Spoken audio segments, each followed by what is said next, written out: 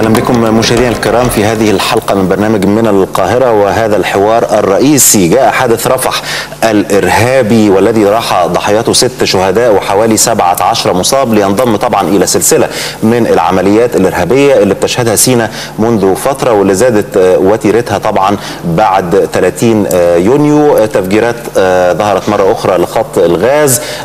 حدث رمضان بقى قبل الماضي. اللي استشهد فيه 16 جندي ده غير طبعا الحادث الأخير. عقب فض اعتصامي ربع العدوية والنهضة الحقيقة إنه هناك من يرى إنه اللي بيحدث في سيناء يمكن يشبه حرب الاستنزاف اللي شهدت عمليات كثيرة في هذا الوقت. نفس الشيء الآن بتفعله القوات المسلحة للقضاء على هذه البؤر والأوكار الإرهابية الموجودة في سيناء. ولكن هل الحل في مواجهة الإرهاب دائما ما يكون هو حل أمني فقط أم هناك حاجة لحل اجتماعي لحل ثقافي لحل اقتصادي علشان نجفف منابع الإرهاب؟ ما يكونش بس المعالجة هي معالجة أمنية تخلي الإرهابيين ينزلوا في السر مرة أخرى ولكن يبقوا على قوتهم وتفضل مشكلة موجودة بتؤرق مصر. للحديث في هذا الموضوع معنا على الهواء مباشرة الكاتب الصحفي الأستاذ سليمان جودة. بنرحب بحضرتك في نيل الأخبار.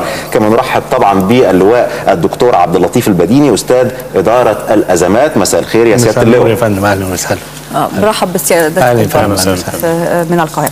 طب أنا هبتدي مع سيادة اللواء الآن. زي ما شادي قال يعني في عمليات إرهابية كثيرة في الفترة الأخيرة سواء في سيناء أيضا في موضوع وزير الداخلية. ففي حالة من الترقب الشديد بيعيشها الشارع المصري ما يؤرق الشارع المصري الآن. الموضوع الرئيسي في مصر هو الإرهاب.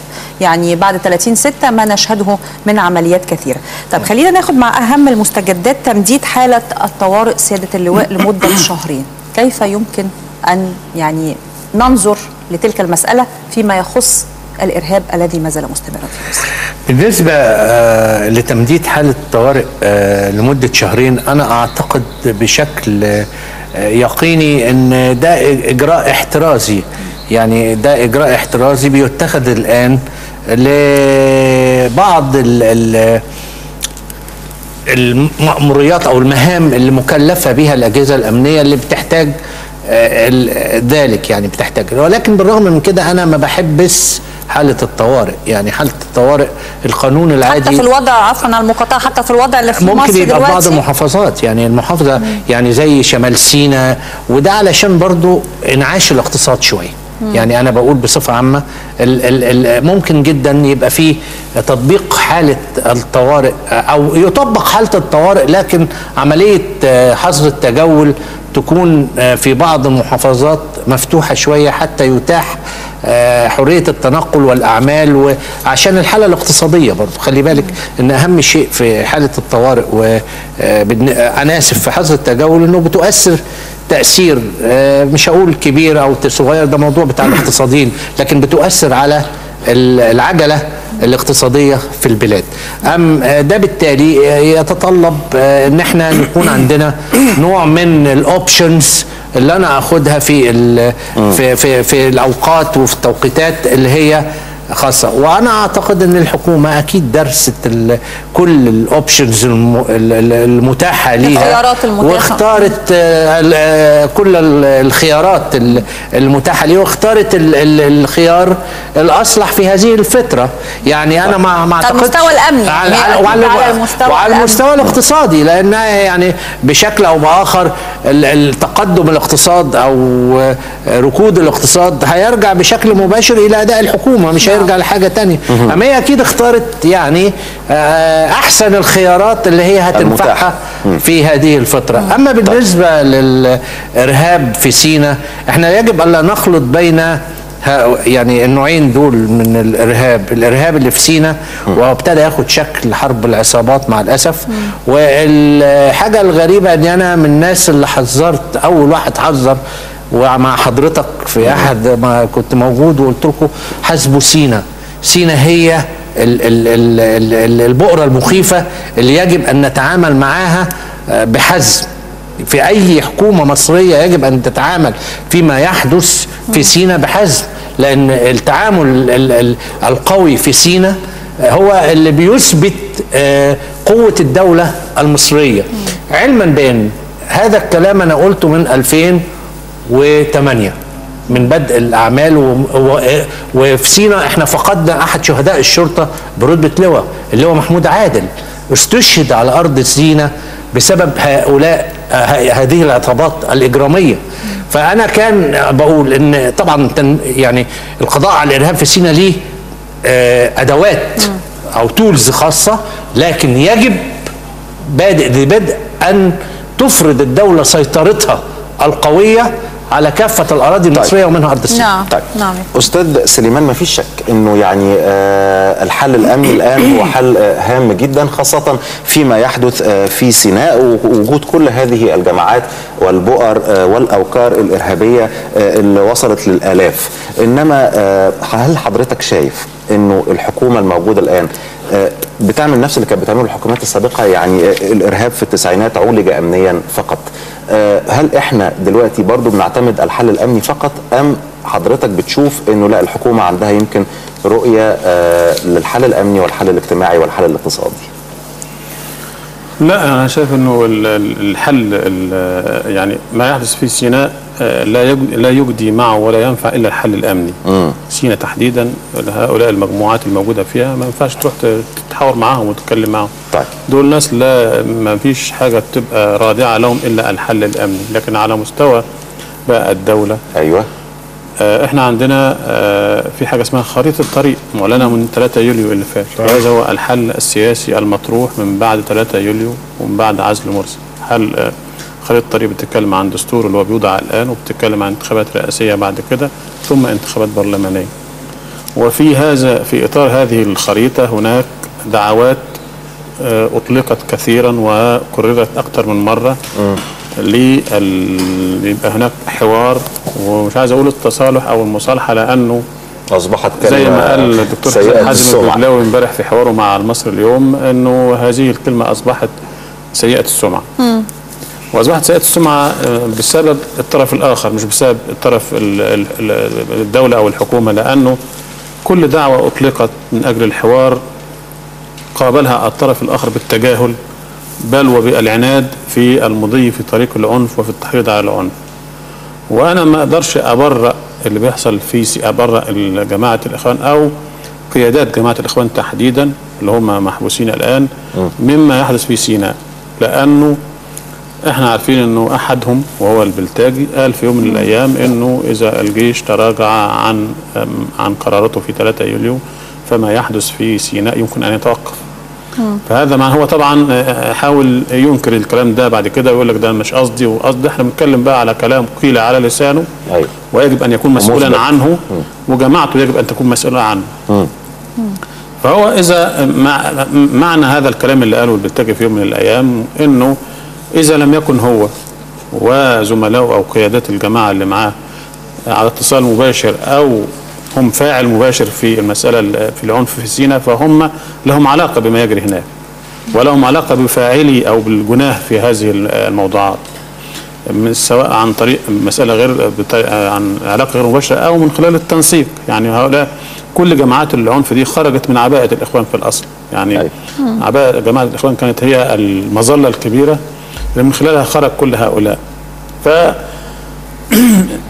لا تستطيع أن تبرئ قيادات الإخوان المحبوسين الآن واللي هم في انتظار محاكمات وبعضهم أحيل فعلا إلى المحاكمة مما يجري في سيناء. سيناء لكن على المستوى السياسي أظن أن الحكومة حريصة على من خلال سلوكها وكلامها يوميا أن هي حريصة على أن يكون الحل سياسيا بس المهم حل سياسي مع من؟ هل مع حد متورط في عنف أو محرض على عنف مع المصريين؟ ده لا يجوز لأنه ده الحل معاه يبقى حل قانوني مش حل سياسي. أما الحل السياسي فهو مع في هناك آه، يجب أن نفهم إنه التيار الإسلامي أكبر من الإخوان الإخوان جزء من التيار الإسلامي هناك حزب النور مثلا وده حزب سلفي موجود الآن ضمن خارطه الطريق وموجود في جمعية تأسيس الدستور. آه. فده ممكن يبقى فيه معاه كلام بس بشرط إن هو يتخلى عن آه، طريقته اللي بيحاول يعني يعتمدها أحيانا وهي طريقة الإخوان زمان هي الابتزاز ابتزاز الدولة أو ابتزاز الحكومة. ده لا ما ينفعش ما ينفعش حد مثلا من آه، قيادات حزب النور السلفي أو التيار السلفي يخرج يقول لك إحنا لا تنازل على المادة 219 مفيش حاجة اسمها لا تنازل. ده أنت بتتكلم أنت لك عضو أو عضوين في لجنة من 50 واحد. فما يتوافق عليه ال 50 يجب أن تخضع له. لانك هنا بتتكلم عن توافق وطني حول دستور يجب أن يصدر في النهاية بروح مصرية مش روح إخوانية ولا سلفية ولا أي حاجة. روح مصرية خالصة يحس كل مصري في هذا البلد إنه الدستور ده اتصنع عشانه هو.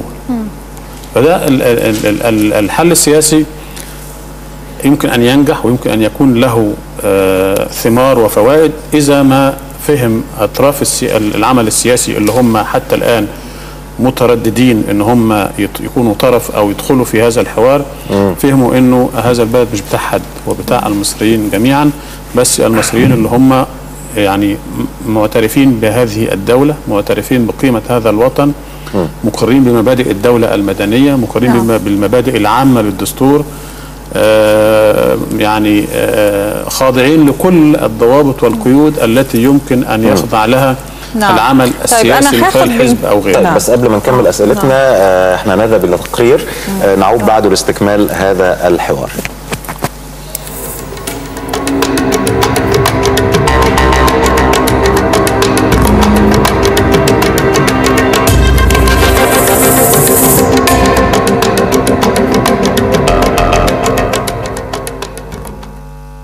عكست العملية الإرهابية الغادرة والجبانة التي استهدفت مبنى المخابرات في رفح وكمين أمني في منطقة النافورة بالمدينة بواسطة عربتين ملغومتين عكست مدى تغلغل الإرهاب في سيناء على الرغم من الضربات المتواصلة التي تقوم بها القوات المسلحة والأجهزة الأمنية للقضاء على البؤر الإرهابية. وأدى هذا التفجير الإرهابي إلى استشهاد ستة جنود وإصابة 17 آخرين. منهم 10 جنود وسبعة مدنيين من بينهم ثلاثة سيدات إلى جانب تدمير عدد من المنشآت المدنية المحيطة بمنطقة الحادث. تلك العملية الجبانة جاءت لتؤكد على ضرورة المضي قدما من جانب القوات المسلحة للقضاء على الإرهابيين وخاصة بعد إعلان جماعة بيت المقدس الجهادية التابعة لتنظيم القاعدة مسؤوليتها عن تنفيذ ذلك الهجوم الغادر. التطورات الأمنية التي تشهدها سيناء والبلاد عموما دفعت برئيس الجمهورية المستشار عدلي منصور إلى تمديد حالة الطوارئ السارية في البلاد منذ شهر لمدة شهرين آخرين.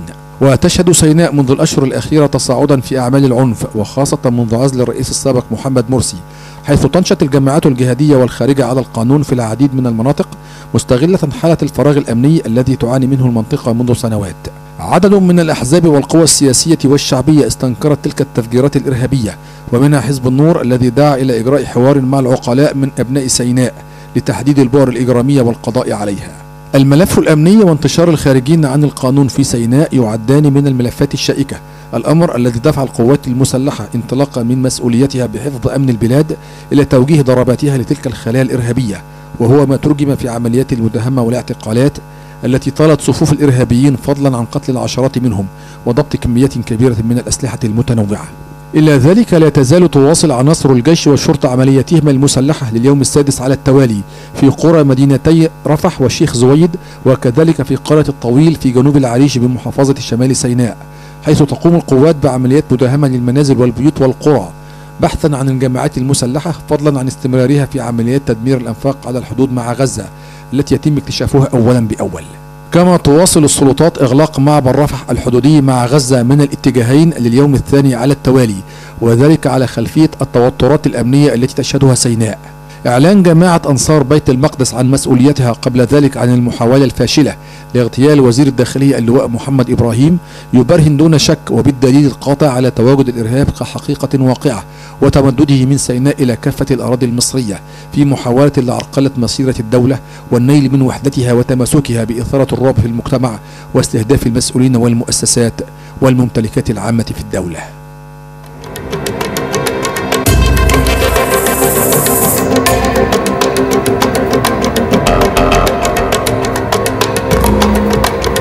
برحب بكم مرة أخرى. سيدة اللواء زي ما شفنا تفاصيل هذه الحادثة وما يحدث بالتفاصيل في سيناء.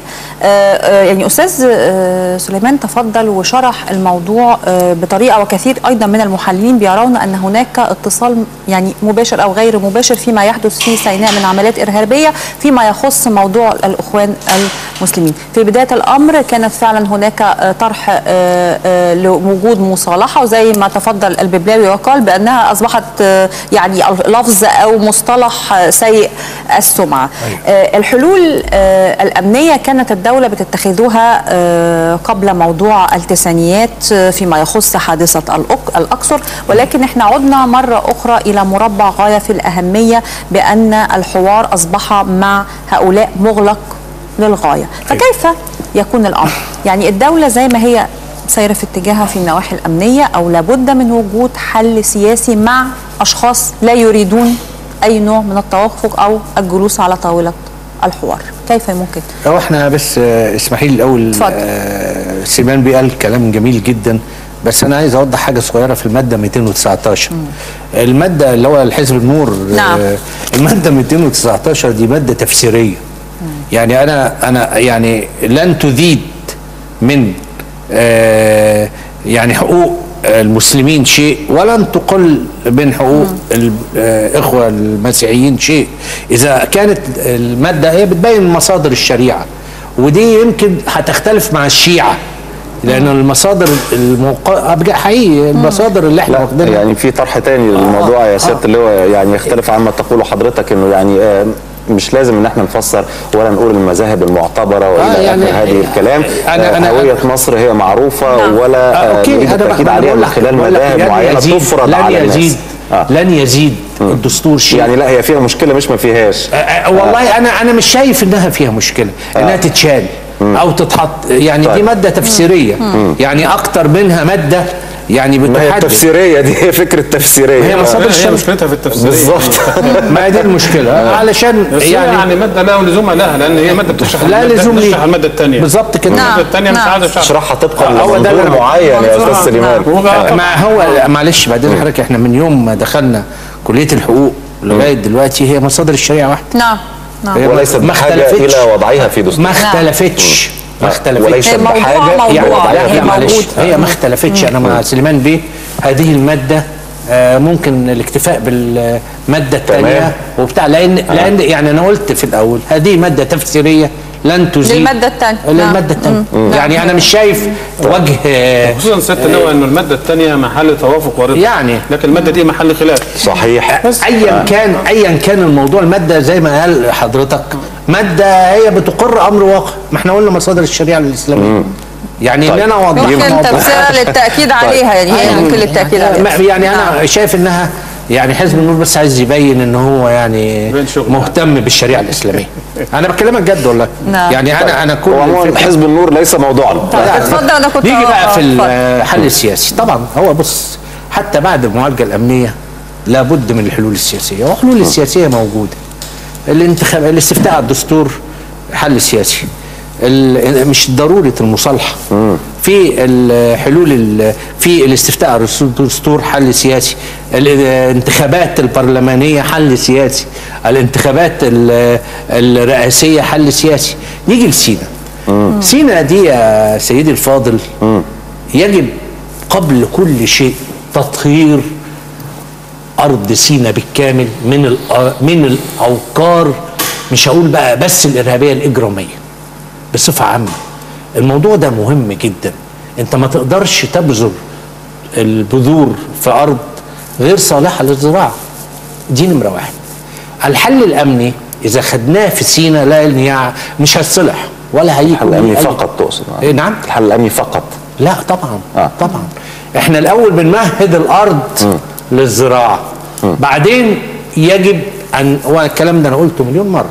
يجب تنمية معلش في سينا الإعادة إفادة برضه يا يجب تنمية سينا. يعني حضرتك إن إحنا ننمي سينا دي مهمة جدا. يعني يعني أنا عايز أشغله وأديله فتره إن هو يشتغل وأهالي سينا يشتغلوا والكلام ده كله. لازم تنمية سينا. تنمية سينا دي من الأمور اللي هي هتساعد بعد القضاء على هؤلاء الإرهابيين نقدر نعمل التنمية البشرية والتنمية الاقتصادية ودي هتكون حاجة جميلة جدا. بس أنا عايز أقول حاجة برضو.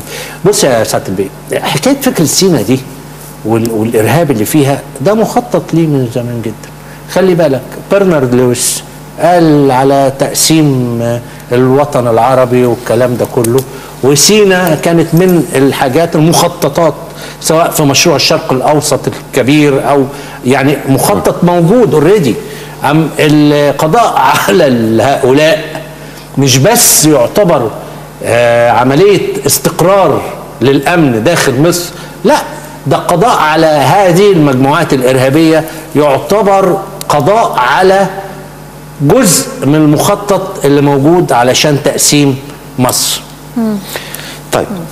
أستاذ سليمان يعني آه، بالنسبة لفكرة تنمية سيناء اللي ذكرها آه، سيادة اللواء إحنا عارفين طبعا كلنا إنه آه، خلال السنوات الفائتة كان هناك محظورات على تنمية سيناء دولية. واستجابت الحكومات المتعاقبة والنظام السابق لهذا ولم يتم تنمية سيناء لأسباب معروفة للجميع سياسيا. هل بتعتقد إنه يعني دلوقتي هناك إرادة سياسية تستطيع أن تتخلص من هذه الضغوط الدولية لتنمية سيناء وجعلها آه، ثقل آه، سكاني هو أنا ما أعتقدش ان كان في محظورات دولية قبل كده على تنمية سيناء بالنسبة للنظام الحاكم السابق آه، الأسبق. كنا نسمع عن مشروعات ولا تنفذ ليه لا لا يعني هو ما حدش كان كبيرة. ما حدش كان منعك كحكومة ولا كنظام حكم في أيام مبارك إنك أنت تتعامل مع سيناء كمنطقة يجب أن تنمى تنمية حقيقية إذن تبقى ماذا حدث؟ مش يبقى تنمية سياحية في الجنوب لا لا لا تنمية حقيقية و آه، تنمية بقية- سياحية موجودة. بقية آه، لا، حقيقية. ال- سينا كلها اللي هي ستة بالعكس. سي- سينا دي منطقة يعني يجب إن إحنا نقول مساحتها 66 ألف كيلومتر مربع أيوة. صحيح يعني مساحة آه، دول تقريبا من صحيح. المناطق اللي حوالينا فسينا منطقة ماهيش صغيرة نمرة اتنين فيها آه، آه، يعني منطقة ل- واعدة لمن يريد كحكومة أن يعمل فيها لكن المهم هو أنت آه، يعني الإرادة دي هل كانت متوفرة أيام الرئيس الأسبق مبارك؟ لا لم تكن متوفرة أيام ما سؤالي حضرتك لماذا لم تكن أيام مرسي هل كانت آه، لا مش ما كانتش متوفره مش لأسباب خارجية لأسباب خاصة بالنظام نفسه إن هو آه. آه يعني المسألة مش مش مش, مطروحة على أولوياته كحكم ولا حتى أيام مرسي يعني هل هناك حد في العالم كان يمنع مبارك أو يمنع مرسي من أن يتعامل مع سيناء كأرض مصرية ذات سيادة يستطيع أن يعمل فيها ما يشاء. لا أحد. لكن هو مجرد الإهمال التقصير عدم إدراك خطورة بقاء سيناء على آه، وضعها ال- ال- ال- الحالي. ولذلك فالمسألة بقى حتى أيام مرسي آه، ال- ال- المسألة زادت وأصبحت أخطر لأنه حتى أيام الرئيس الأسبق مبارك كانت سيناء لم تنمى لكنها كان هناك حرص على ان هي لا تتحول إلى وقر الإرهابيين والمجرمين. في أيام مرسي فوجئنا بأنه الرئيس الدكتور محمد مرسي المعزول آه، حول هذه المنطقة اللي هي 66 ألف كيلو متر- مربع إلى منطقة حاضنة للإرهاب وال- وال- والإجرام. وأصبح بي- بي- بي- بيطلع ناس مش متهمين مدانين في جرائم. كاملة بقرارات عفو رئاسية ويصدرهم لسيناء وكأنه أصبح مورد مجرمين إلى سيناء وإرهابيين. ويجيب ناس كمان آه، وشفنا أعداد كبيرة من الخارج جاءت في عهده إلى سيناء وكان للأسف الشديد